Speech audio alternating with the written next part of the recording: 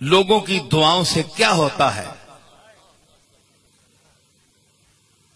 یہ تم جاتے ہو درگاہوں میں بزرگان دین کے پاس، تو یہ کوئی آسمان سے اتری مخلوق ہے؟ تم اپنے گھر بیٹھ کر اللہ سے مانگ لیا کرو۔ کیونکہ اللہ نے فرمایا اجیب ادا وطد داد آنے، جب کوئی مانگنے والا مجھ سے مانگتا ہے تو میں اس کو دیتا ہوں۔ قرآن نے فرما تو دیا، ان لوگوں کے پاس جانے کی کیا ضرورت ہے؟ یہ آج کل نئے نئے لوگ، نئے نئے لوگ پیدا ہو گئے۔ نئے نئے مسلک پیدا ہو گئے۔ نئے نئے طریقے پیدا ہو گئے۔ جو علم میں کم لوگ ہیں، ان کو ورغلاتے ہیں۔ کہ یہاں جانا شرک ہے، یہاں بدت ہے۔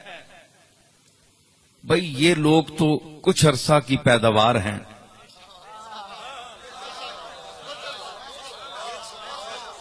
سو سال ہوگا، ڈیڑھ سو سال ہوگا، یہ تو سو سال ان کی عمر تو اتنی ہے۔ اور ہم جن لوگوں کے پاس جاتے ہیں، وہ امام حسن سے چلتے ہیں۔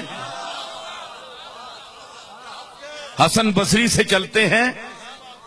صحابہ کرام کا دور ہے، تابعین کا دور ہے تبا تابعین کا دور ہے، اہل بیت اظام کا دور ہے۔ کہاں آج کل کے جو بدعقیدہ ہیں، ان کی دعا اور کہاں فاطمت الزہرا کی دعا۔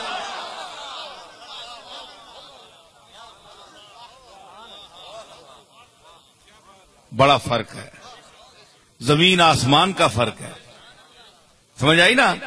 تو اس لیے نہیں جاتے ہم ان کو خدا نہیں مانتے۔ نہ ہم انہیں خدا کے کاموں میں شریک سمجھتے ہیں، کیونکہ یہ کفر ہے، یہ شرک ہے۔ اللہ کا مقبول سمجھ کر۔ ہم تو یہ ہے کہ ان کے جو دنیا سے چلے گئے ہیں، ان کی قبور پر جا کر، قبروں پر جا کر اللہ سے مانگیں، مانگنا اللہ سے ہے۔ کہ ہم نے ان کو اپنے سے اچھا سمجھا ہے۔ اگر تیرے کاغذوں میں یہ ٹھیک ہیں، تو ہماری مغفرت اور ماں ان کے صدقے میں کہ ہم ان کی قبر پر آئے ہیں۔ اور اگر ان میں کوئی کمی رہ گئی ہے، تو ہم نے یہ قرآن مجید پڑھا ہے۔ ہم ان کے ایسال ثواب کرتے ہیں۔ تو ان کو پہنچا اور ان کے خطاؤں کو معاف فرما اور ان کے درجات کو بلند فرما۔ یہ طریقہ ہے۔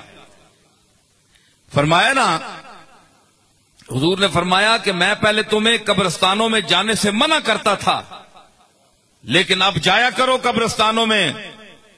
فنہا تو ذکر الموت، اس لیے کہ قبرستان میں جانا موت کو یاد دلاتا ہے۔